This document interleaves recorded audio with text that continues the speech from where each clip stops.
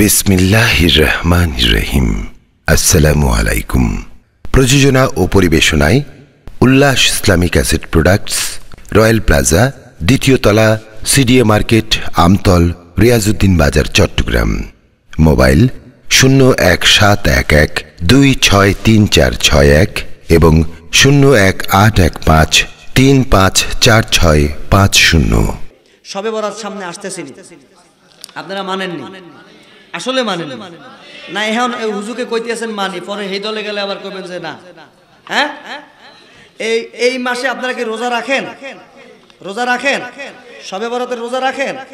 এখন বাংলাদেশে একজন মুফতি বাইর হয়েছে, তিনি সুরা ফাতেহা ঠিকমতো পড়তে পারেন না।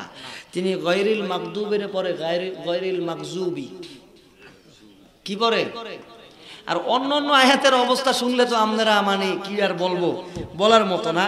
ওই ভাই আমার গত দুই বছর আগে বলেছেন যে, সবে বরাতে যদি কেউ একটা রোজা রাখে তাহলে সেই ব্যক্তি জাহান নামে যাওয়ার জন্য যথেষ্ট। কয় একটা রোজাই জাহান নামে যাওয়ার জন্য যথেষ্ট। নাউজুবিল্লাটা জমা রাখেন, আগামী বছর বলবেন, কেমন? জোরে বলেন না, নাউজুবিল্লাহ। তো কইতেছে কি যে সবে বরাতের একটা রোজা রাখলে বলে জাহান নামে যাওয়ার লাগিয়া যথেষ্ট। এটা কইতেছে কিসের কথা কইয়া? হাদিসের কথা। কিসের কথা? হাদিসের। এবার এরা যে আসলে কেমন হাদিস কয়, এটা মিলে মিলাইলে বুঝবেন। এতক্ষণ একটু আগে তো বুঝলেন যে এরা বেদাতি, বুঝছেন না? এবার সামনে আরেকটু বুঝবেন, এদের আরও কিছু উপাধি আছে। এটা আমার দেওয়া না নবীজির দেওয়া? আমার নবীজির গায়েবের খবর দেওয়ার ক্ষমতা আছে না নাই? জোরে কোন না, আছে না নাই? আল্লাহ কয় ওয়ামাহু আলাল গাইবি বেদনেন। আমি সেই দলিলে যাচ্ছি না, ইলমে গায়েবের আলোচনা আজকে যাচ্ছি না, গেলে বুখারির থেকে, মুসলিমের থেকে যথেষ্ট দলিল আছে। এই যে আমরা তায়াম্মুম করি, কি করি? তায়াম্মুম করি। এখানেও এই তায়াম্মুমের বিধান যে আসছে, এখানেও আমার নবীর এলমে গায়েবের দলিল আছে। যাই হোক, সেদিকে আমি যাচ্ছি না। তো এখন এই সবে বরাতের রোজা আপনারা রাখেন তো?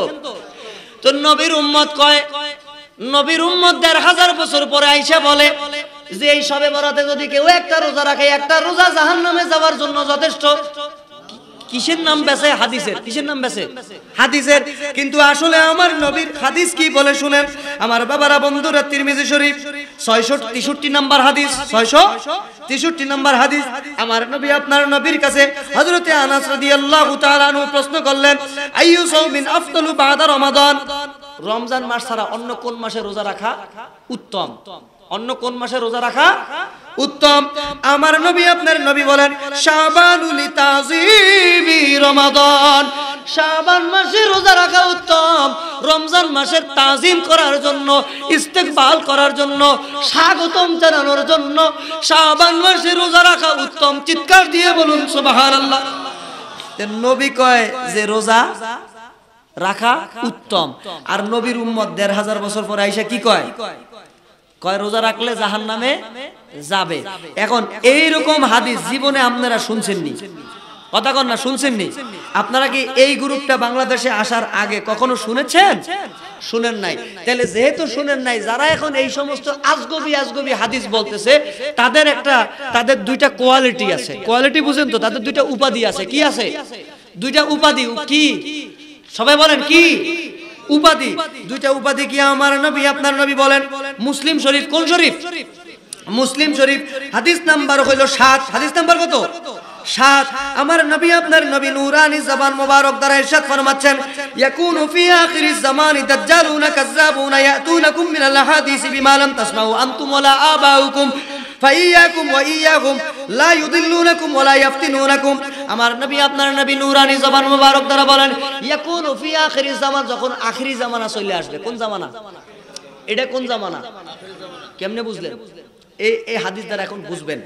নবীজি ফরমান, ইয়াকুনু ফি আখিরিজ জামান যখন আখিরি জামানা চলে আসবে, একটা তো লোক বের হয়ে যাবে। এদের কোয়ালিটি হবে দুইটা, কয়টা? আরও জোরে। কয়টা? দুইটা। নবীজি বলেন, প্রথম নাম্বার হলো দাজ্জাল, উনা এরা হলো দাজ্জাল। কাজ্জাবুনা দ্বিতীয় নাম্বার হলো কাজ্জাব। দ্বিতীয় নাম্বার কি? কাজ্জাব। কাজ্জাব মানে বুঝেন তো, মিথ্যাবাদী। কাজ্জাব মানে কি? কে কয়? আমি কই না নবীজি কয়? এখন যদি আপনার কষ্ট লাগে আমার কিচ্ছু করার নাই। তো আমার নবীজি ফরমাচ্ছেন যে এরা এদের কোয়ালিটি হচ্ছে দুইটা, একটা হলো দাজ্জাল আর একটা হলো কাজ্জাব। নবীজি ফরমান, ইয়াতুনাকুম মিনাল আহাদিস এরা তোমাদেরকে হাদিসের কথা বলে ডাকবে। কিসের কথা? এখন আমাদেরকে কিসের কথা কইয়া ডাকে? হাদিসের কথা কয়ে ডাকে না। তো নবীজি বলেন ইয়াতু নাকুম মিনাল হাদিসি এরা তোমাদের কাছে আজগবি আজগবি হাদিস নিয়ে আসবে। আজগবি আজগবি? হাদিস নিয়ে আসবে। কেমন কেমন হাদিস? নবীজি ফরমান বিমাল আমতাসমাউ আনতুম। এমন এমন হাদিস বলবে যে হাদিস জীবনে তোমরা কোনোদিন শোনো নাই। ওয়ালা আবাউকুম। তোমাদের বাপ দাদারাও শোনে নাই। তাহলে নবীজি বলতেছেন, ওই দাজ্জাল কাজ্জাবদের আলামত হবে। আজগবি আজগবি হাদিস কব যে হাদিস তোমরা কোনোদিন তোমাদের বাপ দাদারাও তাহলে এই কথার দ্বারা কি বোঝা যায়? নবীজি কি ইশারা দিচ্ছেন? বাপ দাদা যেটা করে গেছে হেডের পক্ষে থাকতে কইতেছে না বিপক্ষে যাইতে কইতেছে? কথা বুঝেন নাই মনে হয়? এটার পক্ষে নবীজি থাকতে বলতেছেন, কারণ এটার বিপক্ষে যারা ডাকবে এটা হলো দাজ্জাল এবং কাজ্জাব। আমার নবীজি ফরমান যে ফাইয়াকুম ওয়া ইয়াকুম, লা ইউদিল্লুনাকুম ওয়া লা ইয়াফতিনুনাকুম এরা নিজেরাও পথভ্রষ্ট তোমাদেরকেও পথভ্রষ্ট করে ছাড়বে।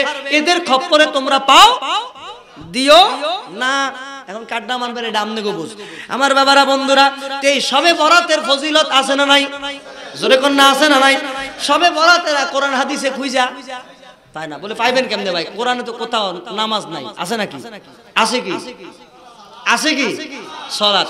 তো এই নামাজের আরবি কি? সলাৎ। কোরআনে কোথাও রোজা আছে? রোজার আরবি কি? সম। তো ঠিক তদ্রুপ, কোরআনে কোথাও, কোরআন হাদিসে কোথাও সবে বরাত নাই। আছে কি? আছে হলো কি শুনেন? আমার নবী, আপনার নবী নূরানি জবান মুবারক দ্বারা ইরশাদ ফরমান, ইন্নাল্লাহ তাবারাকা ওয়া তাআলা ইয়ানজিলু লাইলাতুল, ইয়ানজিলু লাইলাতান নিসফি মিন শাবান ইলা সামাইদ দুনিয়া, ফায়াগফিরু লিআকসারি মিন আদাদি শাহরি খানামি কলবিন। চিৎকার দিয়ে বলুন, সুবহানাল্লাহ। আল্লাহর হাবিব নূরানি জবান মুবারক দ্বারা ইরশাদ ফরমান, আল্লাহ রাব্বুল আলামিন ইয়ানজিলু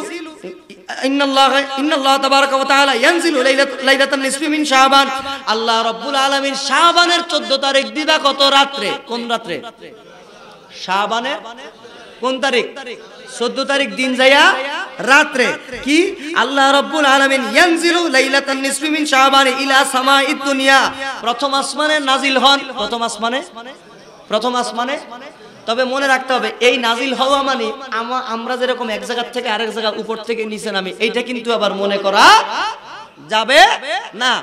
আল্লাহ কীভাবে নাজিল হন এটা আল্লাহই ভালো জানেন। কথা বলেন ঠিক না বেঠিক? আমার বাবারা, বন্ধুরা, এবার আল্লাহ রব্বুল আলামিন নাজিল হয়ে কি করেন? আমার বাবারা, বন্ধুরা, আমার নবী, আপনার নবী ইরশাদ ফরমান, ফায়াগফিরু লিআকসারি মিন আদাদি শাহরি কানামি কালবিন। আল্লাহ রব্বুল আলামিন ওই আরব দেশের মধ্যে, আমগো এদিকে বিভিন্ন বংশ আছে না? কেউ সদাগর কেউ চৌধুরী, কেউ পাঠান আছে না? তো ওই আরব দেশে এরকম গোত্রগুলোর মধ্যে একটা গোত্র ছিল, এদের নাম হচ্ছে বনুকাল এদের নাম কি? এরা হলো বেশি বেশি ছাগল চড়াইতো কি চড়াইতো ছাগল পালতো। কি পালতো? বকরি। কথা বুঝেন? এই বকরি পালতো। এদের বকরির সংখ্যা ছিল গোটা আরবের মধ্যে সবচাইতে বেশি।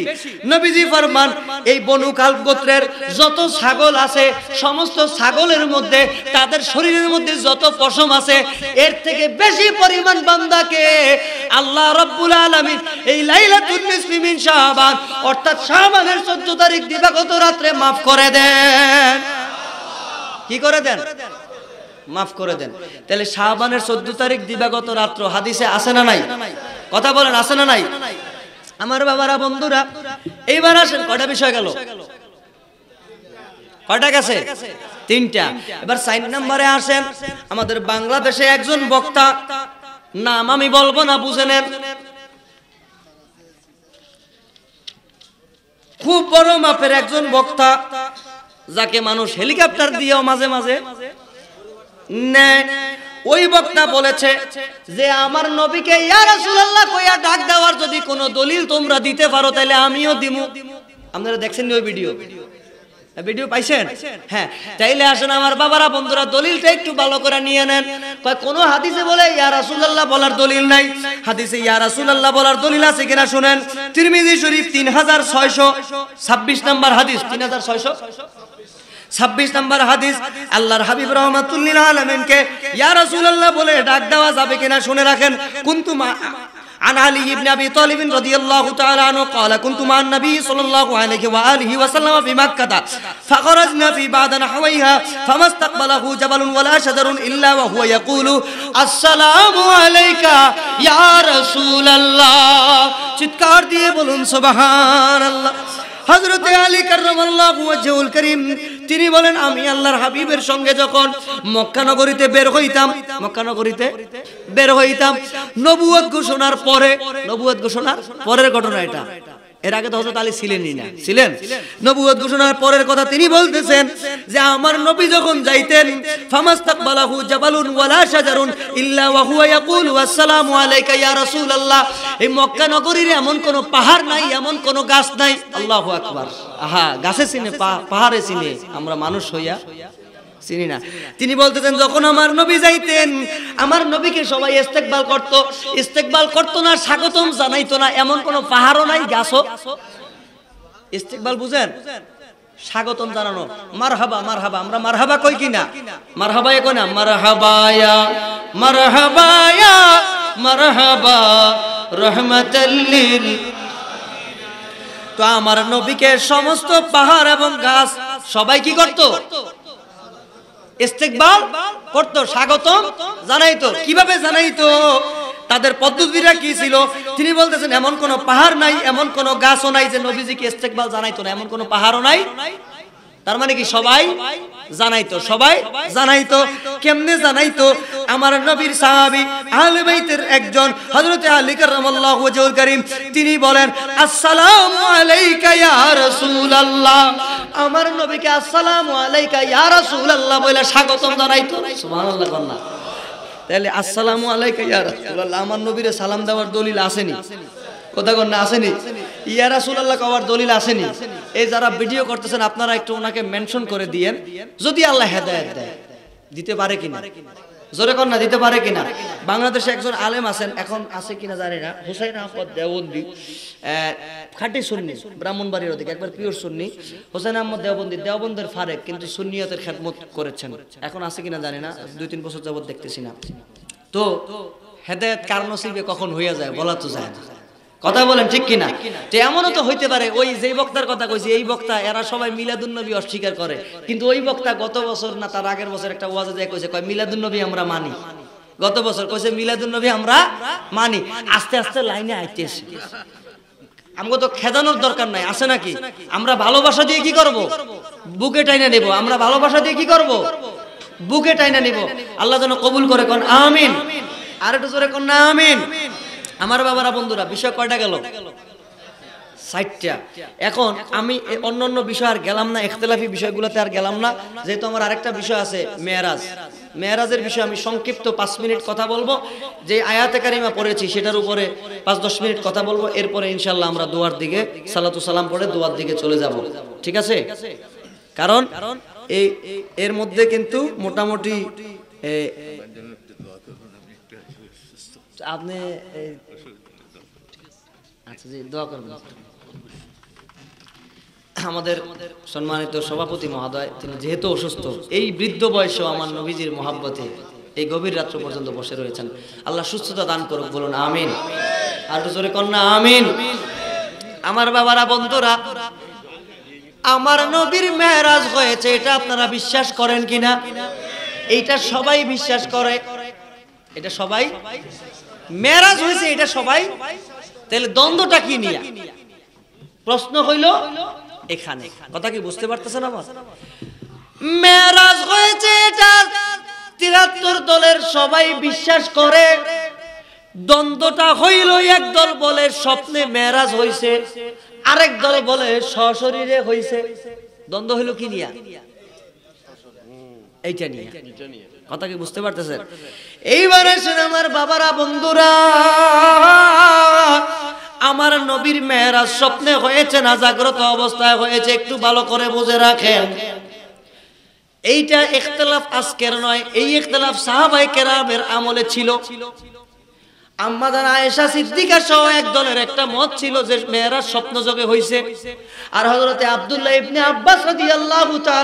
সহ বিশাল বড় সাহাবাই কেরামের একটা জামাত, অধিকাংশ সাহাবাই কেরামের মত ছিল, আমার নবীর মেয়েরা স্বপ্ন যোগে নয়, সশরীরে জাগ্রত অবস্থায় হয়েছে। এখন আসেন আমার বাবারা, বন্ধুরা, স্বপ্ন যোগে যেই মতটা এই মতটা কেন গ্রহণযোগ্য হবে না, কারণটাকে একটু শুনেন। হাদিসের উসুলে হাদিসের কতগুলো নিয়ম আছে? উসুলে হাদিসের কতগুলো? উসুল হাদিস তো অনেকে আপনারা বুঝবেন না। এই যে মাহফিল হয়েছে, মাহফিলের একটা নিয়ম কারণ আছে না নাই? আছে না নাই? এরকম হাদিসেরও কিছু নিয়ম কানুন আছে। মাহফিলের বক্তাদের স্তর আছে না? কথা কন না, আছে না? হাদিসের মধ্যেও কিছু স্তর আছে। এখন আসেন আমার বাবারা, বন্ধুরা, যেই মতটা হইল স্বপ্নের পক্ষে, ওই মতটা গ্রহণযোগ্য নয়। কেন গ্রহণযোগ্য নয়? কারণ হচ্ছে আম্মাদান আয়েশা সিদ্দিকা রাদিয়াল্লাহু তাআলা আনহা বা ওনার এই মতটার পক্ষে যেই কয়জন ছিলেন, তার মধ্যে অন্যতম মা আয়েশা সিদ্দিকা। যখন আমার নবীর মেরাজ হয়েছে ওটা মক্কি জীবন। কোন জীবন? ওই সময় মা আয়েশা সিদ্দিকা ছিলেন। কথা কোন, ছিলেন? দুইটা মত পাওয়া যায়। একটা মতে পাওয়া যায় তিনার জন্মই তখন হয় নাই। আরেকটা মত পাওয়া যায় যে ওই সময় মা সিদ্দিকার দুই থেকে আড়াই বছর, দুই থেকে আড়াই বছর বা সর্বোচ্চ তিন বছর। এখন আপনাদের কাছে প্রশ্ন, দুই থেকে আড়াই বছর অবস্থার বর্ণনা আপনারা কেউ করতে পারবেন? কথা বলেন, করতে পারবেন? ওই সময়কার বর্ণনা কে করতে পারবে? যখন ওই সময় যেই ব্যক্তি প্রাপ্তবয়স্ক ছিলেন প্রাপ্তবয়স্ক ছিলেন তিনি। এখন আম্মাজান আয়েশা সিদ্দিকা ওই সময় যদি জন্ম হইয়াও থাকেন, তাহলে সর্বোচ্চ বয়স কত? তিন। আর হজরত আবু বকর সিদ্দিক রাদিয়াল্লাহু তাআলা আনহু, কথা বলেন না। তিনি কি ওই সময় শিশু ছিলেন? মেরাজের সময় শিশু ছিলেন? তো হজরত আবু বকর সিদ্দিক রাদিয়াল্লাহু তাআলার মত হচ্ছে, নবীর মেরাজ হয়েছে সশরীরে, জোরে বলুন, সুবহানাল্লাহ। আর একটু জোরে বলুন না, সুবহানাল্লাহ। এইবার আসেন আমার বাবারা, বন্ধুরা। যদি নবীর মেরাজ, এবার আমি কয়েকটা যুক্তিতে যাই, তারপরে আবার একটু দলিলে আসব। যদি আমার নবীর মেয়েরা স্বপ্ন যোগে হইয়া থাকে, তাইলে এই যে আমরা যে পাঁচ ওয়াক্ত নামাজ আদায় করি, পাঁচ ওয়াক্ত? এটা কি নবী স্বপ্নে আনছে? কথা কয় না। তাইলে আপনি যদি এই নবীর আমার নবীর মেয়েরাজকে স্বপ্ন যোগে বলে মাইনে নেন তাহলে আপনি কি দাঁড়াইতেছে? ইসলামের সবচেয়ে বড় ইবাদত কি? নামাজ। সেই নামাজে আপনি কি বললেন? কথা বলেন। ইসলাম কি এত হালকা জিনিস? কথা বলেন। এত হালকা জিনিস? আমার বাবারা, বন্ধুরা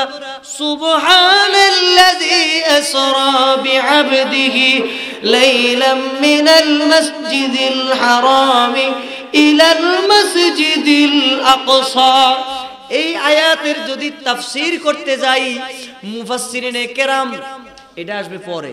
প্রথমে আসবে আয়াতের শানে নজুল, তারপরে আসবে, এখন তো কি কম দুঃখের কথা? করে তরজমা নাম দেয় তাফসিরুল কোরআন মাহফিল। করে কি? তরজমা। তরজমা বুঝেন মানে শাব্দিক অর্থ। করে কি? শাব্দিক অর্থ। অনুবাদ। এই একজনে কইছে, এটা বুঝছেন ভালো। করে কি? অনুবাদ। নাম দিছে কি? তাফসির। তো অনুবাদ আর তাফসিরের মধ্যে পার্থক্যটা কি? এটা জানেননি আপনারা? এটা যদি জানতেন, তাহলে আপনি করে ধোকা দিতে পারতো না। আজকে একটু জানেন, তাফসির করতে হলে কি কি লাগে? শুনেন, প্রথম নম্বরে বলতে হবে শানে নুজুল। বলেন। শানে সবাই বলেন, শানে নুজুল মানে নাজিল হওয়ার কারণ। নাজিল হওয়ার কারণ। এটা গেল কি? এক নাম্বার। দ্বিতীয় নাম্বারে করতে হবে লফজি মানা মানে শাব্দিক অর্থ কি? দ্বিতীয় নাম্বারে কি? শাব্দিক অর্থ। তৃতীয় নাম্বারে করতে হবে লুগবি মানা, আবিধানিক অর্থ। কয়টা গেল? প্রথম নম্বরে শানে নজুল, দ্বিতীয় নম্বরে শাব্দিক অর্থ, তৃতীয় নম্বরে আবিধানিক অর্থ। এইবার সাইন নাম্বারে আসেন সাইন নাম্বারে হচ্ছে আয়াতের তাফসির আয়াত দিয়া। কেননা আমার আল্লাহ কোরআনে বলেন, আহসানা তাফসীরা। কোরআনের উত্তম তাফসির কোরআন নিজেই। জোরে কন্না সুবহানাল্লাহ। এটা বুঝাইতে গেলে আবার দুইটা আয়াত লইতে হবে দুইটা আয়াত লই আমরা করে বুঝাইতে হবে এই সময় এখন আর নাই। তো চার নাম্বার শর্ত কি? আয়াতের তাফসির, আয়াত দিয়া। আয়াতের তাফসির মানে এক আয়াতের তাফসির কি দিয়া হবে? আরেক আয়াত দিয়া। এটা গেল কয় নাম্বার শর্ত? চার নাম্বার। পাঁচ নাম্বারে হচ্ছে আয়াত কার উপরে নাজিল হয়েছে? একজনে কইলেন। কার উপরে নাজিল হয়েছে আয়াত? নবীজির উপরে নাজিল হয়েছে না? তাহলে এই আয়াতে আল্লাহ কি বুঝাতে চেয়েছেন? সবচেয়ে ভালো বুঝবেন কে? আমরা না নবীজি? আরও জোরে কোন, কে ভালো বুঝবেন? তো নবীজি কি ওই আয়াতের ব্যাখ্যা করেন নাই? তাহলে পাঁচ নম্বরে আসবে হচ্ছে আয়াতের তাফসির হাদিস দিয়া। আয়াতের তাফসির এক নম্বরে শানে নজুল, দুই নম্বরে শাব্দিক অর্থ, তিন নম্বরে আবিধানিক অর্থ, চার নম্বরে আয়াতের তাফসির আয়াত দিয়া, পাঁচ নম্বরে আয়াতের তাফসির হাদিস দিয়া আয়াতের তাফসির হাদিস দিয়ে গেল কয়টা? পাঁচটা। এরপরে ছয় নম্বরে আসবে হজরতে আবদুল্লাহ ইবনে আব্বাস থেকে শুরু করে ইমাম জালালউদ্দিন সৈয়দি জামা জালালউদ্দিন মহল্লি ওনারা সহ এই জগতের যত বড় বড় মুফাসসিরিনে কেরাম এই আয়াতের যেই যে ব্যাখ্যা করে গেছেন সেই মতগুলো আসবে কয় নম্বরে? ছয় নম্বরে। এই ছয় ভাবে ব্যাখ্যা করার পরে একটা আয়াতের চারটা প্রকারের দলিল হয়। ইশারাতুন নাস দলালাতুন নাস ইবারাতুন নাস ইক্তদাউন নাস এই চার প্রকার নস দ্বারা বুঝাইয়া দিলে ওইটারে কয় হইল তাফসীর। বুঝছেন? এখন ওই একবারটা কানা আর কি, কানা। ঠিক আছে? তো এখন ওই বিল্ডিং একটা ধরে কয় এটা হাইকোর্ট কানা মানুষ তো আর এটা বুঝে না। মনে করে এটাই কি? হাইকোর্ট এখন যার চোখ আছে, এরা যদি এই এই টিনটা ধরে আমি কই এটা হাইকোর্ট মানবে? কথা বলেন মানবে? তো আজকের থেকে যদি কেউ অনুবাদে তাফসির কয়, মানবেন? কথা বলেন মানবেন? বাংলাদেশে এখন এটা চলতেছে, আপনারা সরল মনে মানুষ, ওই কোরআন দিয়ে দিয়ে আমাদের ইমানকে ছিনিয়ে নিচ্ছে। কথা বলেন ঠিক না ঠিক? এই জন্যই আমার আল্লাহ বলেন, ইউদিল্লু বিহি কাসীরা ওয়া ইয়াহদি বিহি কাসীরা ওয়া মা ইউদিল্লু বিহি ইল্লাল ফাসিকিন। সেই আলোচনায় আর যাচ্ছি না, আমি মেয়ারাজের কথাটা একটু আপনারা বুঝেন। আজকে আমি আমার সুরসার নাই, আমি সুরসার দিয়ে কথাও বলতেছি না, কিছু আপনাদেরকে বোঝানোর চেষ্টা করতেছি। আমার বাবারা, এবার আসেন, যার নসিবে যা থাকে সে তা কিনে। কেউ কেউ মদ বিক্রি করে দুধ কিনে, কেউ দুধ বিক্রি করে মদ কিনে। এই পৃথিবীর মধ্যে একজন বিজ্ঞানী ছিল যার নাম আপনারা অনেকেই জানেন। যার নাম হচ্ছে আইনস্টাইন। নাম শুনছেন? মুসলমান ছিল। কথা কন, মুসলমান ছিল? এই আইনস্টাইন পৃথিবীর সমস্ত ধর্মগ্রন্থ নিয়ে গবেষণা করতে করতে করতে করতে কোন ধর্মের গ্রন্থের সঙ্গে বাস্তবতার মিল পাচ্ছিলেন না। তিনি কোরআনের উপরে বিশ্বাস করলেন যে এটা আল্লাহর কালাম ছাড়া অন্য কারও কালাম হতে পারে না। কেন কারও কালাম হতে পারে না? কেননা আইনস্টাইনের একটা থিওরি আছে, আলোক রশ্মি নিয়ে। কি নিয়ে? আলোক রশ্মি নিয়ে।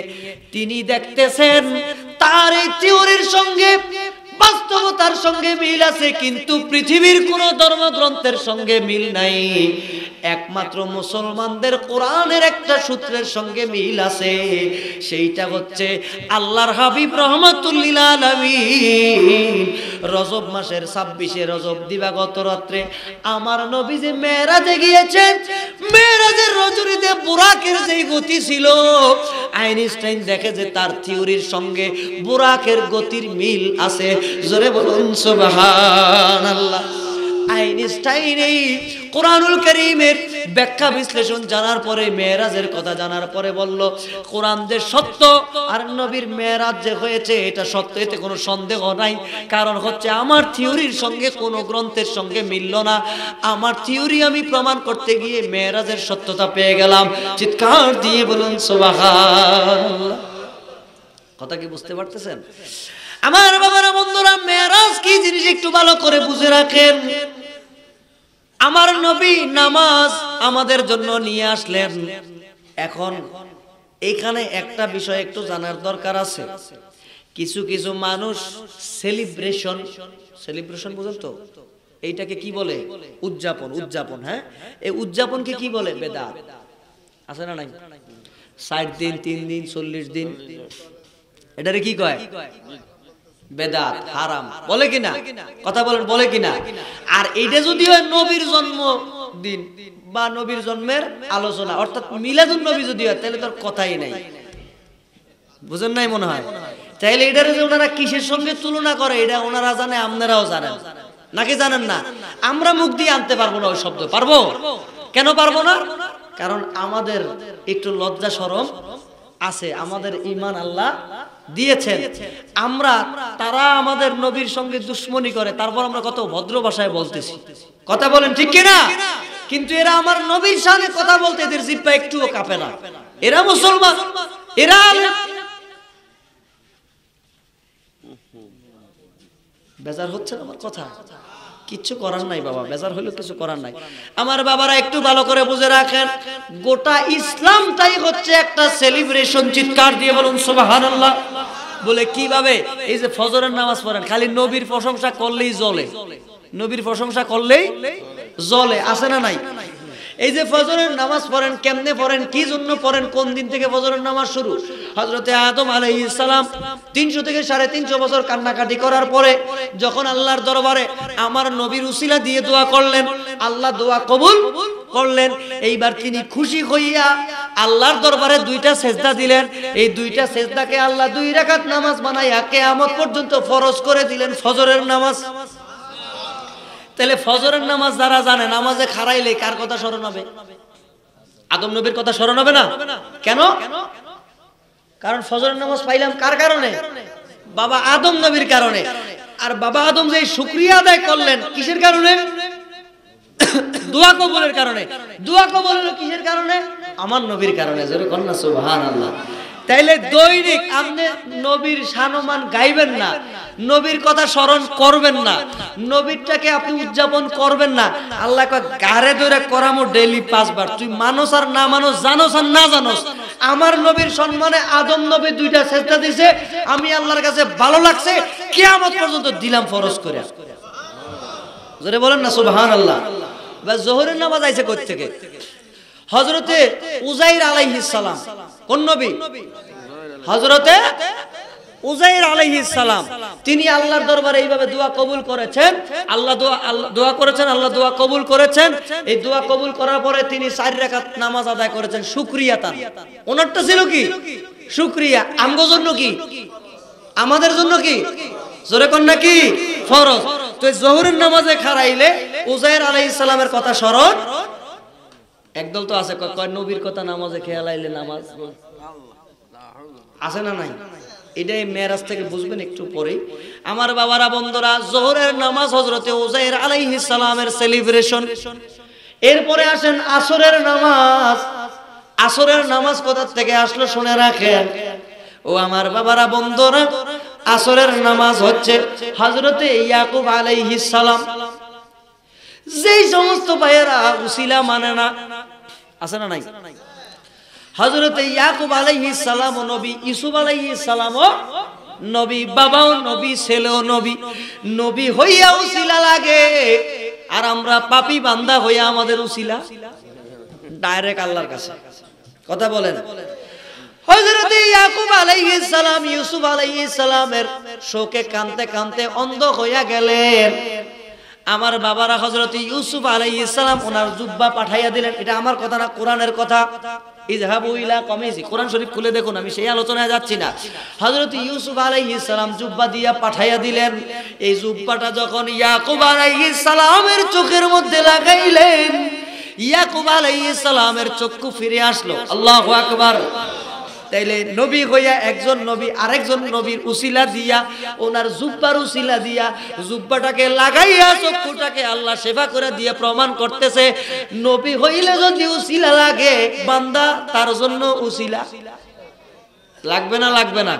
কথা বলে না, লাগবে কিনা আমার বাবারা, বন্ধুরা, যখন ইয়াকুব আলাইহিস সালাম চক্ষুটাকে ফেরত পাইলেন, তিনি খুশিতে আল্লাহর দরবারে শুক্রিয়া তান, চার রাকাত নামাজ আদায় করলেন। এই চার রাকাত হইল আসরের নামাজ। ইয়াকুব আলাইহিস সালামের একদিন একটা ছিল শুক্রিয়া।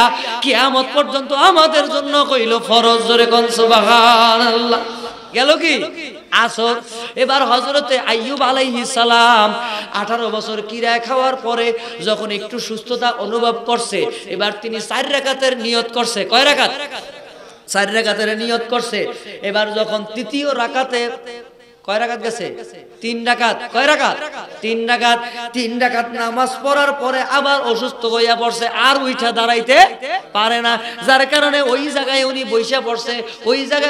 নামাজ শেষ করে দিতে হয়েছে। এই জন্য কেউ যদি মাগরিবের নামাজ তিন রাকাত আদায় করে, আমার আল্লাহ বিধান দিলেন যে ওই পড়েছেন তিন কিয়ামত পর্যন্ত তিন রাকাত ফরজ। তবে উনি যেহেতু নিয়ত করেছিলেন, চার রাকাতের সওয়াব যাবে চার রাকাতের কেয়ামত পর্যন্ত সবাই পড়বে তিন রাকাত। আল্লাহ সওয়াব দিবে চার রাকাতে। এই গেল মাগরিবের নামাজ, এবার এশার নামাজ। হযরত ইউনুস আলাইহিস সালাম মাছের পেটের মধ্যে গেলেন অন্ধকার। তিনি পড়লেন, লা ইলাহা ইল্লা আনতা, সুবহানাকা ইন্নী কুনতু মিনাজ জালিমিন। মাছের পেট থেকে যখন তিনি দুনিয়ায় আবার আসলেন, অসুস্থ হয়ে গেলেন, হযরত জিব্রাইল আলাইহিস সালাম কে?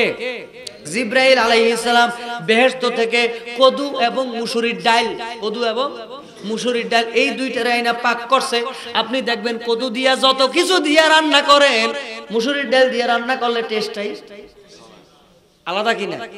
কথা বলেন, আলাদা কিনা? কি জন্য আলাদা? কারণ এটা হলো ওই ইউনুস নবীকে সুস্থ করার জন্য বেহেশতি ফর্মুলায় জিব্রাইল প্রথম রান্না করছে। জোরে কোন, সুবহানাল্লাহ। যেই মাত্র এটা খাওয়াইয়া দিলেন হযরত ইউনুস আলাইহিস সালাম, মাছের পেট থেকে মুক্তি পাওয়ার কারণে শুক্রিয়া তান চার রাকাত নামাজ আদায় করলেন। আমার আল্লাহ বিধান দিয়া দিলেন, ইউনুস নবীর জন্য ছিল শুক্রিয়া। কিয়ামত পর্যন্ত সবার জন্য আল্লাহ করে দিলেন, ফরজ জোরে কোন সুবহানাল্লাহ। কয় ওয়াক্ত নামাজ হইল? আরেকটু জোরে কোন না, কয় ওয়াক্ত? তে নামাজ পাঁচ ওয়াক্ত তো আগেই ছিল। তাহলে আমার নবী আনলেনটা কি? আমার নবী মেয়েরাজে গেছে, আল্লাহ দিলেন পঞ্চাশ রক্ত। মুসা নবী গেলেন, যাইয়া ওই নয়বারে সুপারিশ করতে করতে করতে করতে পাঁচ নয় পাঁচচল্লিশ শক্ত কয় গেল? পাঁচচল্লিশ শক্ত পাঁচচল্লিশ যখন কমাইলেন, ওই আগের পাঁচটা লইয়া নবীজি আবার আসলেন। তাহলে লাভ হইল কি? এখন যারা আমার নবীর এলমে গায়েবের বিরুদ্ধে, এরা একদিক দিয়ে মেরাজরে সশরীরে মানে না, আবার আরেক দিক দিয়ে গায়েবের বিপক্ষে দলিল দিতে সেই সময় কিন্তু আবার মানে কেমনে মানে জানেননি? কয় আচ্ছা নবী যদি গায়েবই জানতো তাহলে মেয়েরাজের রাত্রে আল্লাহ যখন পঞ্চাশ রক্ত দিছে হ্যাঁ এই সময় এই বারবার বারবার নবীজি কমাইতে গেছে, একবারই কমাই এলো এই কথা বুঝেন নাই? এটার জবাবটা কি জানেননি? এটার জবাব হলো হেগো যেমন কুকুর যেমন কুকুর, তেমন মুকুর তা করে কইবেন, তাইলে তোমাদের কথাই তো বোঝা যায় যে আল্লাহও মনে হয় জানে না। কারণ আল্লাহ জানলে একবারে কমাইয়ে দিত, একবারে বাড়াইয়ে দিল কেন? কথা বুঝেন নাই? তো আল্লাহ জান্না যেরকম দাবে দাবে কমাইছে, আমার নবীও জান্না দাবে দাবে কমাইছে। কারণটা কি? কারণটা হচ্ছে, নয়বার মুসা আলাইহিস সালাম কেন বললেন, মুসা নবীর লাভ কি? আমাদের নামাজ কমছে, মুসা নবীর লাভ কি? মুসা নবীর একটা লাভ আছে, সেই লাভটা কি? মুসা নবী বলে আমি আল্লাহকে একবার দেখতে চেয়েছিলাম, রব্বি আরনি। আমার আল্লাহ বলেছেন, লান তারানি। ইয়া রাসূলুল্লাহ, আমার আল্লাহকে দেখার খুব একটা ইচ্ছা ছিল, কিন্তু আমার ইচ্ছাটা আজকে এই মেরাজের রজনীতে পূরণ হয়ে গিয়েছে। ইয়া রাসূলুল্লাহ, নামাজ কমানোটা আমার মূল উদ্দেশ্য না। আমি যে নয়বার আপনাকে বারবার বলে সুপারিশ করে আল্লাহর কাছে পাঠাইছি, এর মধ্যে দুইটা কারণ আছে। সুমান আল্লাহ কইবেন না? কয়টা কারণ? দুইটা কারণ। প্রথম নাম্বার কারণ হইল, ইয়া রাসূলুল্লাহ, আমি তো একবার দেখতে চাইছিলাম, আল্লাহ বলেছেন দেখতে পারবা না। কিন্তু আপনাকে তো একবার আল্লাহ দাওয়াত দিয়ে আনিল। বাকি কয়বার গেলে আল্লাহ রাগ হয় কিনা আমি একটু দেখলাম। আহা, সুবহানাল্লাহ বলেন না। কয়বার গেলে আল্লাহ রাগ হয় আমার একটু দেখার ইচ্ছা ছিল আমি দেখলাম। কয় কি বুঝলেন? কয় আমি বুঝলাম ওই তাওরাত কিতাবের মধ্যে আমার নাম আছিল সাতবার আপনার নাম আছিল সত্তর বার আমার থেকে আপনার নাম দশ গুণ বেশি। এই মেয়েরাজের রজনীতেও আল্লাহ প্রমাণ করে দিল যে আমি মুসা কালিমুল্লার থেকে আপনি মোহাম্মদুর রসুল্লাহর মর্যাদা কমপক্ষে দশ গুণ বেশি। বলে, কীভাবে? আমি একবার দেখতে চাইছি, আমার আল্লাহ দেখা দেন নাই। কিন্তু আপনাকে তো একবার দাওয়াত দিয়া নিলেন বাকি নয় বার আপনি নিজে নিজে গেলেন। আল্লাহ একবারের জন্য বেজার হয় নাই। একবারের জন্য বেজার হন নাই। নয়ার একে কত হয়েছে? দশ। মুসা নবী চাইছে কয়বার? একবার দেখতে চাইছে আল্লাহকে। পারছে? আমার নবী কয়বার গেছে? দশ বার আমার নবী কয়বার গেল? একবার তো প্রথম নিল, এবার নামাজ কমানোর লেগে কত? কয়বার? নয় বার দশ বার হয়েছে না? দশ গুণ বেশি হয়েছে কিনা? এইবার মুসা নবী কয়, ইয়া রাসূল আল্লাহ তবে আমার একটা লাভ হয়েছে। কয়, কি লাভ? কয়, আপনি যে এই যে দশ বার আপ ডাউন করেছেন, আপনার এই আসা যাওয়ার মধ্যে দিয়া আমার নবী তো হচ্ছে আল্লাহ দেখার আয় না নবী কি?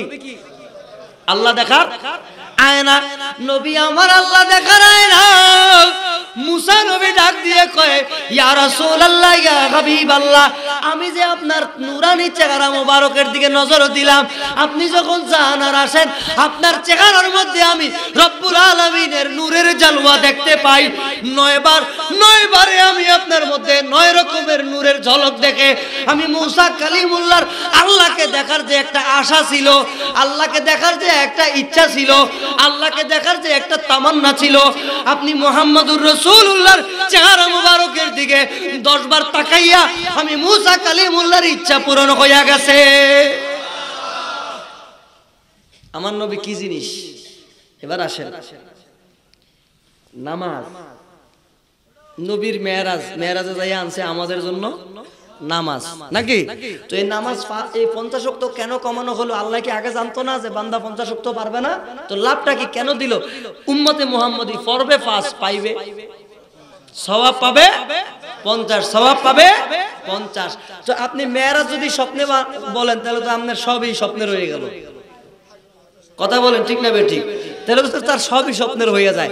এখন একটা জিনিস বলি, আমার বাবারা, বন্ধুরা, এই নামাজটা হচ্ছে মমিনের জন্য নামাজটা মমিনের জন্য? এখন নামাজও পড়ে সুদো নামাজও পড়ে, জিনাও। নামাজও পড়ে, সব আকাম কুকাম। চলে না চলে না? এখন আমার আল্লাহ বলছেন ইন্না সলাত তানহা আনিল ফাহশাই ওয়াল মুনকার। নামাজ খারাপ কাজ থেকে কি করে? তো আপনার আমার নামাজের তো খারাপ কাজ থেকে বিরত রাখল না। কারণটা কি কখনো খুঁজছেন? কথা কয় না, কারণটা খুঁজছেন? কারণটা কি? কারণটা হলো নামাজ এমনি পড়ার দরকার, এমনি তো পড়েনি না। এমনি আমরা কেউ পড়ি না। বলে কেমনে? এইবার আসেন আমার বাবারা, বন্ধুরা, আমার আপনার মেয়েরাজটা কেমনে হবে? নামাজটা তো মেয়ারাজ হইলে না ওই নামাজ আপনাকে আমাকে খারাপ কাজ থেকে দূরে রাখবে। খারাপ কাজ থেকে দূরে রাখার জন্য তো আগে নামাজটা মেয়ারাজ হইতে হবে। নাকি হবে না? তো নামাজটা মেয়েরাজ হওয়ার জন্য করণীয় কি? কেমনে মেয়েরাজ হবে একটু ভালো করে বুঝে রাখেন। আমার বাবারা, বন্ধুরা, আমাদের নামাজ, নবীজির নামাজ কি এক? এ কথা কন। বুঝা কইতেছেন? কে? হুজুর না কয়, সল্লু কামার আই তুমুনি কি? কয় না এই যে এই এই হাদিস কি কয় না হুজুররা? কয় তোমরা ওইভাবে নামাজ পড়ো যেইভাবে আমি রসুল নামাজ পড়ি। হুজুররা এই হাদিস কয়নি? এ কথা কন না কয়নি? হ্যাঁ কথা সত্য। কিন্তু আমার নবী যেইভাবে নামাজ আদায় করেছেন ওইভাবে নামাজ আদায় করার মতো কাউকে আমার আল্লাহ আসমানের নিচে জমিনের উপরে নয় শুধু তামাম মাখলুকাতের মধ্যে কাউকে বানায় নাই। বলবেন কেমনে? নবীর সবকিছুই আলাদা। কেমনে আলাদা? আমাদের কালেমা হইল, লা ইলাহা ইল্লাল্লাহু মুহাম্মাদুর রাসূলুল্লাহ সাল্লাল্লাহু আমার নবীর কালেমা কি? নবীজির কালেমাও যদি এইটাই হয়, লা ইলাহা ইল্লাল্লাহু মুহাম্মাদুর রাসূলুল্লাহ তাহলে মুহাম্মদ আরেকজন হওয়া লাগবে না? কথা কোন, লাগবে না? তাহলে নবীর কালেমা কি এইটা? তো নবীর কালেমাটা কি? আমার নবীর কালেমা হচ্ছে, লা ইলাহা ইল্লাল্লাহ ইন্নী রাসূলুল্লাহ। তাহলে নবীর কালেমা আমাদের কালেমা? কথা কয় না। কালেমা আমাদের কালেমা? বেশ কম। এইবার আসেন আমার বাবারা, বন্ধুরা, নামাজের নিয়ত কি আপনারা করেননি? ঘুমে ধরছে।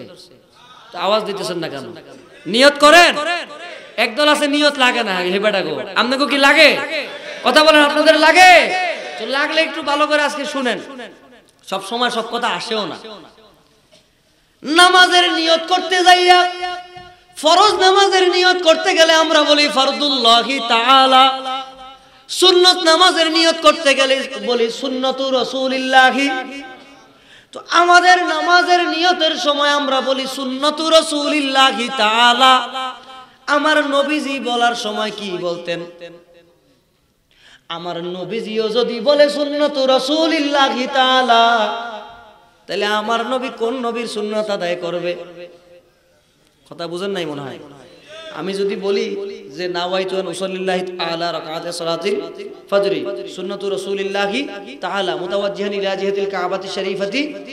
মানে কি?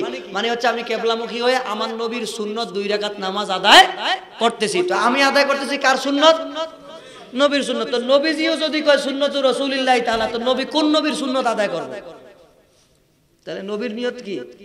নবীর নিয়ত হচ্ছে সুন্নতি। আমার নবী নিজের সুন্নত নিজে আদায় করে তো নবী আর উম্মতের মধ্যে পার্থক্য হচ্ছে, উম্মত আদায় করে নবীর সুন্নত, আমার নবী আদায় করে নবীর নিজের সুন্নত। চিৎকার দিয়ে বলুন, সুবহানাল্লাহ। তাহলে কালেমা এক না বেশ কম? নিয়ত বেশ কম আছে? এইবার আসেন নামাজের মধ্যে যাইতে যাইতে যাইতে যাইতে যাইতে যাইতে আমরা তাসাউদের বৈঠকে বসিনি। ও আমার রাঙ্গামাটির বাবারা, বন্ধুরা, রহমতের সময় কিছু কথা বলে যাই, ভালো করে খেয়াল করে শুনেন। বেশি বুঝার দরকার নাই, বেশি বড় আলেম হওয়া লাগে না, আল্লাহ তো একটা আকল সবাই দিছে। এই আকলটা খাটাইলে বুঝতে পারবেন কোন মৌলবী নবীর পক্ষের, কোন মৌলবী নবীর বিপক্ষের, নবীর পক্ষের হবে। ছোট আলেম হোক, সম্মান করবেন। নবীর বিপক্ষের হোক, যত বড় আলেম হোক, কোন ইজ্জত আছে নাকি? কথা কোন আছে? আমার বাবারা, বন্ধুরা, আমরা নামাজের মধ্যে তাশাহুদের বৈঠকে পড়ি। আত্তাহিয়াতু লিল্লাহি ওয়াস সালাওয়াতু ওয়াত তাইয়্যিবাত পড়িনি। এরপরে কি কই? আসসালামু আলাইকা আইয়ুহান নাবিয়্যু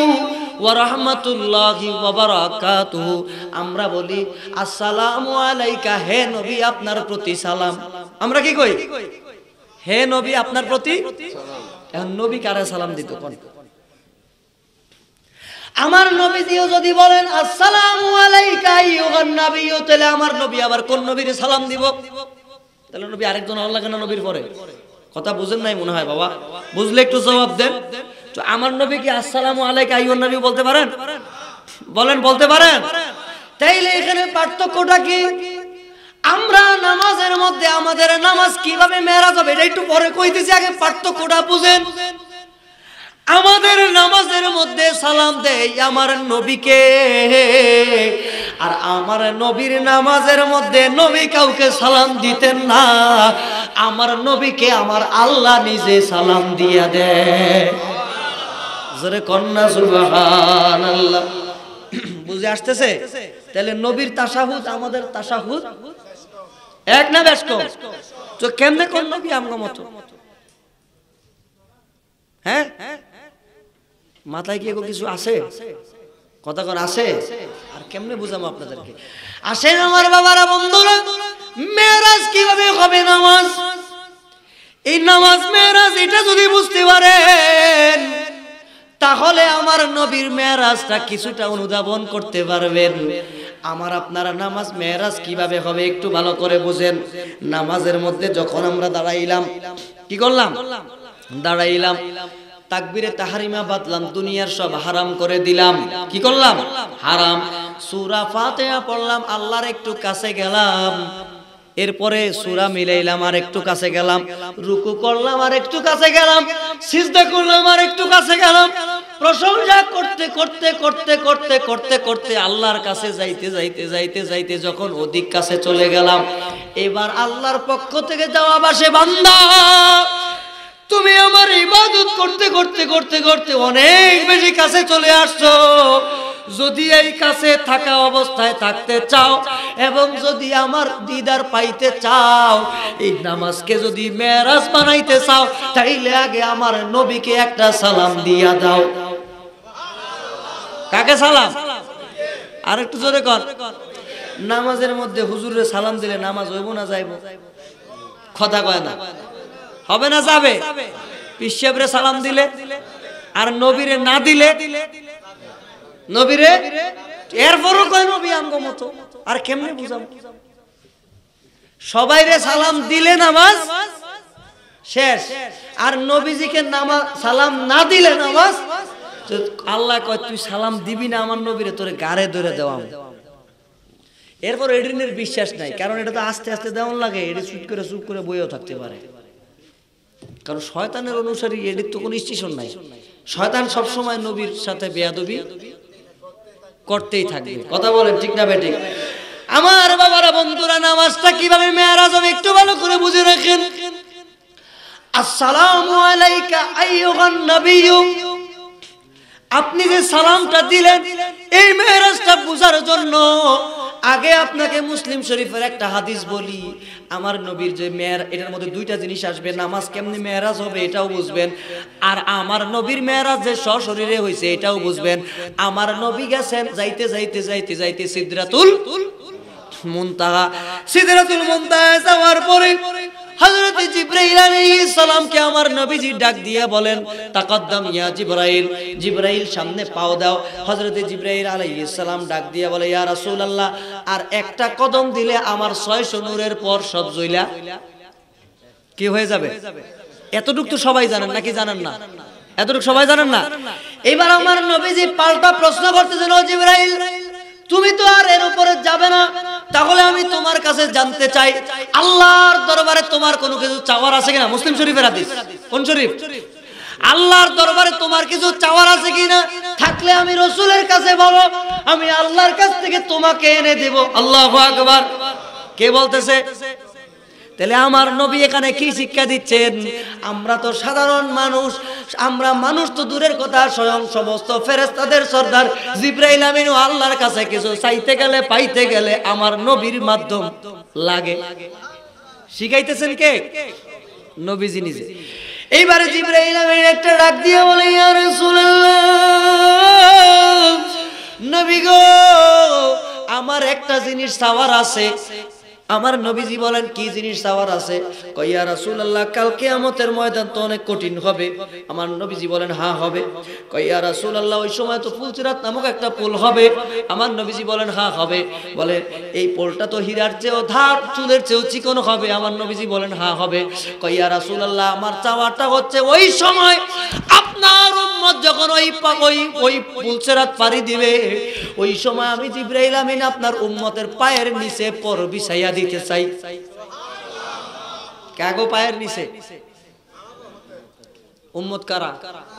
কাদের পায়ের নিচে পর বিছাই দিতে চায়? আমাদের। তাহলে সুবহান আল্লাহটা যেমনি কইলেন, মনে হয় এটা মামুর বাড়ির আবদার পাইয়ে গেছেন আর কি। চিৎকার দিয়ে বলেন সুবহান আল্লাহ আমার নবী, আপনার নবী বললেন, জিবরাইল, আমার উম্মতের পায়ের নিচে তুমি পর বিছাইয়া দিবা। এতে তোমার কি লাভ? জিব্রাইল, কোনো লাভ আছে? জিব্রাইলের লাভ আছে? আমগো পায়ের নিচে পর বিছাই দিলে শান্তি কাগো? কথা কয় না? শান্তি কাদের? তো জিব্রাইল লাভ কি? প্রশ্ন করতেছেন কি? আমার নবীজি। নবীজি জানেন কি না? যাই না প্রশ্ন করতেছে কেন? নবীর কিছু উম্মত দাবিদার জাহেল থাকবে এদেরকে শিক্ষা দেওয়ার জন্য। কথা বলেন ঠিক না বেঠিক তো আমার নবী, আপনার নবী বলে, জিবরাইল, তোমার কি লাভ? কই ইয়া রাসূলুল্লাহ, আমার লাভ হচ্ছে। আল্লাহ আমাকে বাইতুল মামুরের খতিব বানিয়েছেন। নূরে মাখলুকের সর্দার বানিয়েছেন। আমার তো কোনো কিছু চাওয়ার চাওয়ার বাকি নাই, আমার কিছু চাওয়ারও নাই।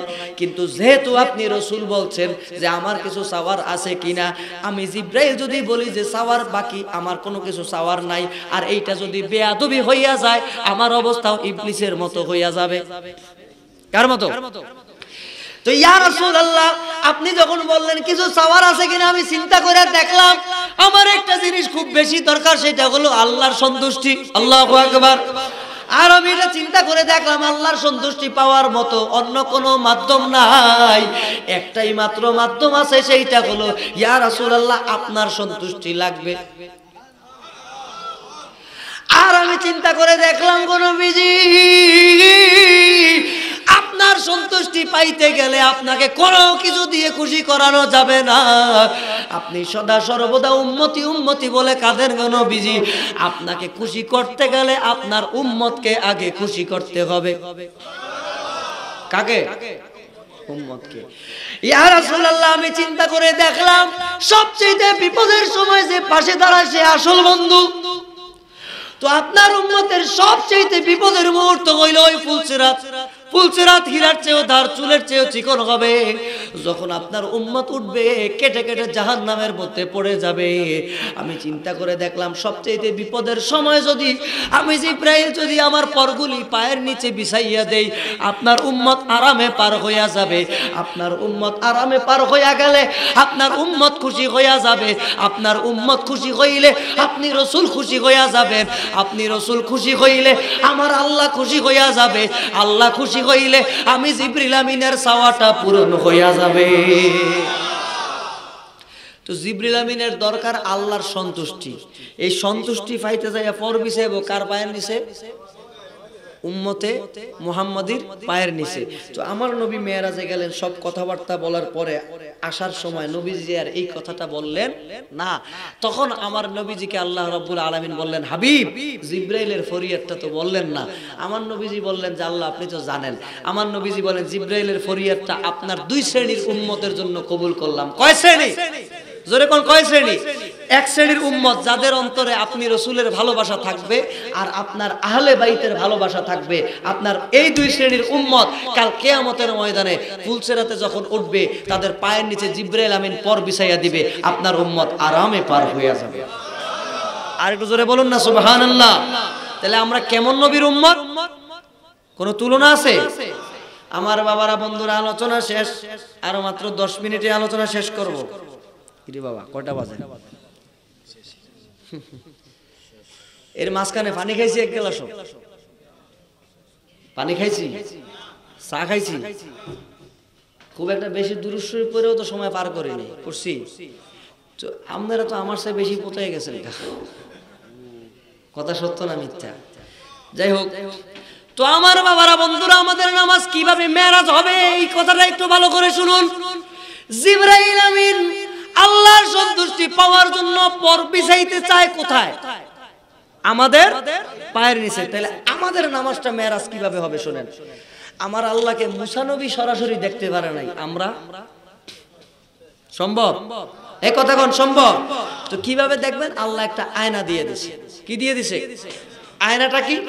আয়না হচ্ছে নামাজের মধ্যে।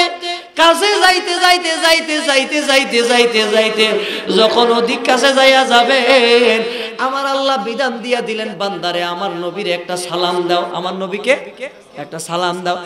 আসসালামু আলাইকা আইয়ুহান নবিয়্যু, যেই মাত্র আপনি আমার নবীকে সালাম দিবেন, ওই সময় আমার নবী যদি দয়া কইরা আপনাকে দেখা দিয়া দেয়, আপনার আমার নামাজটা মেরাজে রূপান্তরিত হইয়া যাবে। বুঝছেন না, বুঝেন নাই? আমাদের নামাজের মধ্যে আমরা সালাম দিব কাকে? এখন নবীকে কাছের মনে করে দিবেন না দূরের? আরেকটু জোরে কন। হাজির নাজিরের কোন দলিলে আমি যাইতে চাইতেছি না, আমি শুধু একটা জিনিস বুঝাই, আরবি ভাষায়। একটা জিনিস ব্যবহার হয়, এটাকে বলা হয় জমির। কি বলা হয়? দমির দমির। কি বলা হয়? দমির। যেমন বাংলায় বলতে যাই, বলি না উনি। উনি, তিনি, আপনি বলি কি না এটা কি নামের পরিবর্তে ব্যবহার হয় না? ধরেন ওনার নাম আব্দুল কুদ্দুস। আমি সম্মান নেওয়ার, সম্মানের কারণে নাম না নিয়ে বললাম যে আপনি কেমন আছেন? কথা বুঝেন নাই? এই আপনি, তুমি, সে, তাহারা, এটা কিসের পরিবর্তে বসে? নামের পরিবর্তে। কিসের পরিবর্তে? নামের পরিবর্তে। এখন এই যে আমার নবীজিকে সালাম দিচ্ছেন, আরবি ব্যাকরণ অনুযায়ী এই যে এই যে শব্দগুলো ব্যবহার করা হয়, এটাকে বলা হয় কি? জমির। এটাকে কি বলা হয়? জমির। এই জমিরটা শব্দের শুরুতে হইলে হয় একরকম, শব্দের শেষে হইলে হয় আরেক রকম, আবার শব্দ সারা হইলে হয় আরেক রকম। একভাবে হইলে হয় হুয়া হুমা হুম আর শব্দের শেষে যদি হয়, তাইলে হয় হা হুমা হুম, হি হুমা হুন্না, কা কুমা কুম, কি কুমা কুন্না ইয়ানা এটা একটু মুখস্থ করতে হবে সবাই, বলেন হা, হুমা, হুম, হি, হুমা, হুন্না, এই ছয়টা হলো গায়েবের লেগা, কিসের লেগা? গায়েব কি কাছে না দূরে? দূরে দূরে, গায়েব কি কাছে না দূরে? দূরে, হা হুমা হুম, হি হুমা হুন্না, এই এই ছয়টা হলো কি?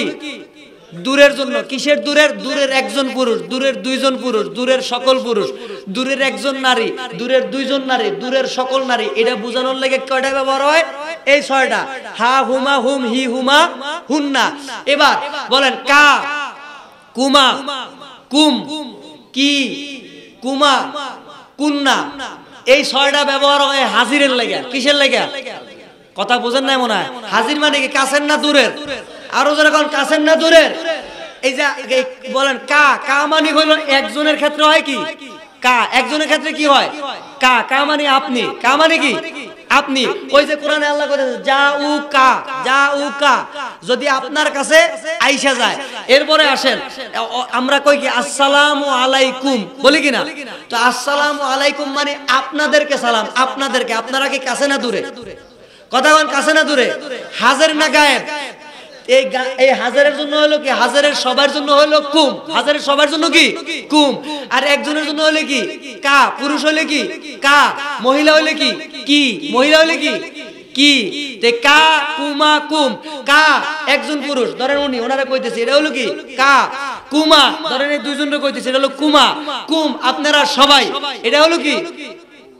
বহু বচন এটা গেল পুরুষের।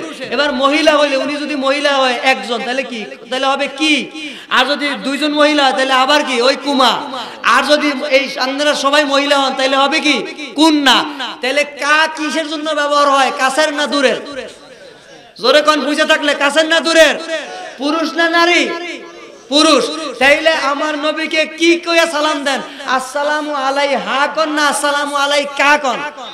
তো কা কি কাছের না দূরের? তো আর কেমনে বুঝামো আমার বাবারা? আমার নবীকে নামাজের মধ্যে সালাম দিতে হবে। কাছের মনে কইরা না দূরের মনে কইরা? আপনি আমার নবীর হাজির মানেন চাই না মানেন। হাজিরা, হাজির, নাজির মানেন। বা না মানেন সেটা আপনার ব্যাপার। কিন্তু ইসলামী শরিয়ার বিধান, আপনি সুন্নি হন, তবলিগে হন ওহাবি হন, জামাতি হন, আহলে হাদিস হন, যেই দলের হন না কেন, আমার নবীকে দূরের মনে কইরা সালাম দিতে পারবেন না। আপনাকে দিতে হবে কাছের মনে কইরা, কাছের মনে না করলেও আপনাকে কাছের শব্দ দিয়েই বলতে। কেমনে? আসসালামু আলাইকা। জোরে কন্যা সুবহানাল্লাহ। এরা যে নামাজ পড়ে বুঝেনি আসলে। নামাজের মধ্যে আসসালামু আলাইকা, কাছের শব্দ দিয়া কইতেছে কি, আপনাকে সালাম। নামাজের বাইরে কইলে কয় নবী, সালামু আলাইকা, এটা কোন যাইব না। কয় কি কয় না? কথা কন বাবা, কয়নি? নামাজের বাইরে কা কইলে দোষ? আল্লাহ কতরে গারে ধরে কওয়ামু তুই যাবি কবি না যাবি কই? তো আমরা দেই মোহাব্বতে, তারা দেয় ঠেকাত ফইরা। আমরা কি? মোহাব্বতে, তারা দেয় ঠেকাত পড়ে। তো এই নামাজের মধ্যে যখন আমার নবীকে সালাম দিয়ে দিবেন নবীর দিদার হয়ে যাবে।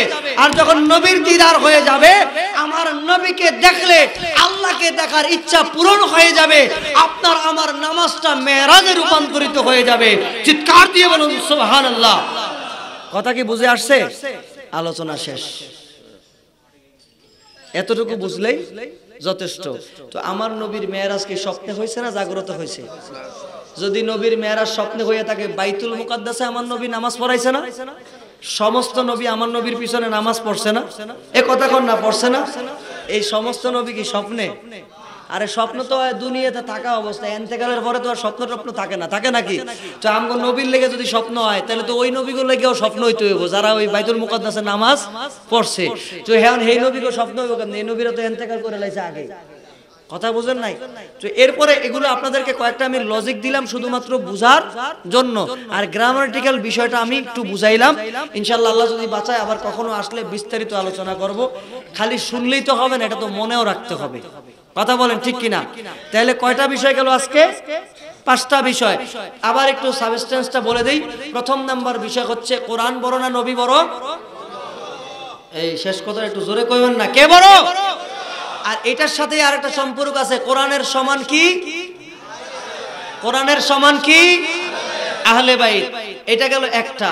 দ্বিতীয় নম্বর বিষয়, তারাবি কয় রাকাত? তারাবি কয় রাকাত? বিতির কয় রাকাত? আর কোন, বিতির কয় রাকাত? আমরা যে আমার নবীকে আসসালামু আলাইকা ইয়া রাসূলুল্লাহ কই, এটা কি বেদাত না ইবাদত? আর একটু জোরে কোন, বেদাত না ইবাদত? আর ওই যারা আমার নবীকে, যারা আমার নবীকে মানতে চায় না, যারা আমাদেরকে বেদাতি বলে, আমরা অরিজিনাল সুন্নত পালন করি, হাদিস পালন করি। আর যারা আমগরে হাদিসের কথা কইয়া আজগুবি আজগুবি হাদিস কইতেছে, এদের কোয়ালিটি কয়টা? দুইটা। কি কি?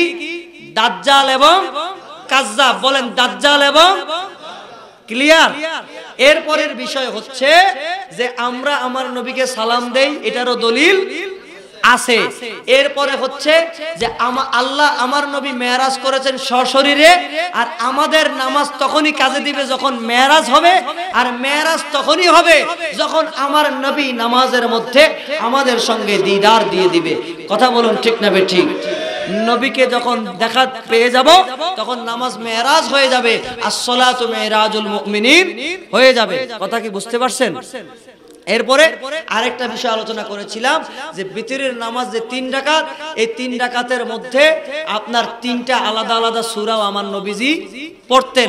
তো আরও আনুষঙ্গিক যে কথাগুলো বললাম, আল্লাহ আমল করার মতো তৌফিক দান করুক। একটু একটু, আরেক মিনিট। আল্লাহ আমল করার মতো তৌফিক দান করুক সকলে বলুন, আমিন। আরেকটু জোরে কোন, আমিন। তো আমগো বাংলাদেশে একটা কথা আছে যে বলদে খায় সবকিছু, কি কেমনে খায়? ভালোভাবে খায় না গোলা করে খায়? জোরে কি করে খায়? গোলা করে খায়। আমাদের সঙ্গে কওমি মাদ্রাসার আলেমদের সঙ্গে দীর্ঘদিনের একটা দ্বন্দ্ব। কি নবী নূর আর মাটি? আপনারা মনে জানেন না। আমরা কই নূর, ওনারা কয় কি? আর জোরে কন, মাটি। এখন দেখেন, এই যে বইটা, এই বইটা হচ্ছে আদর্শ বাংলা পাঠ, তৃতীয় শ্রেণি। কোন শ্রেণি? মানে ওনাদের সিলেবাসের এখন এই হাটাজারি মাদ্রাসার সিলেবাসেরও তৃতীয় শ্রেণির বই এটা কথা বুঝছেন না বুঝেন নাই? বেফাকুল মাদারিসিল আরবিয়া বাংলাদেশ। মানে ওনাদের যে মাদ্রাসা বোর্ড সেই বোর্ডের সিলেবাসের বই এটা। এটা কার স্বাক্ষর হুজুর একটু দেখেন তো। একটু কন্যা নাহলে আবার আমি তো মনে করি আমর শফি সাহেবের স্বাক্ষর এই ভিডিও করে রাখতে পারেন। কার স্বাক্ষর? আমর শফি সাহেবের স্বাক্ষর। এই বইয়ের দশ নাম্বার পৃষ্ঠা এটা কিন্তু তাদের সিলেবাস এখন। এই বইয়ের দশ নম্বর পৃষ্ঠার শিরোনামই হচ্ছে আমাদের নূর নবী সাল্লাম কি তো ভাই, আপনারা কি বেজার হলেন নাকি? হে মিয়ারা, যদি আমগো নবীর নূর কয় আমগো কি খুশির খবর না বেজারের খবর? তো আলহামদুলিল্লাহ করবেন না। তাহলে আমার সব হিসাবে স্বাক্ষর করা বই তাদের সিলেবাসের বইয়ের মধ্যে লেখা যে আমাদের নূর নবী সাল্লাম তো যাই হোক, ঘুরে ফিরে আস্তে আস্তে নবী নূর মানতে আসতেছে। আস্তে আস্তে সব মানবে। তবে পার্থক্য হলো কি, কেউ মানে সার্টিফিকেট পাওয়ার জন্য কেউ মানে মহাব্বতে। বুঝছেন না, বুঝেন না কেউ মানে কি, দুনিয়ার স্বার্থ হাসিলের জন্য। আর আমরা মানে হচ্ছে আমাদের ইমানে, আমাদের মহাব্বতে। আমরা দোয়া করি, আল্লাহ তাদেরকেও আমার নবীর মহাব্বতে মানার তৌফিক দান করুক। আর একটু জোরে কর না আমার কথায় কেউ কষ্ট পাইলে যারা নবী প্রেমিক, ক্ষমা করে দিয়ে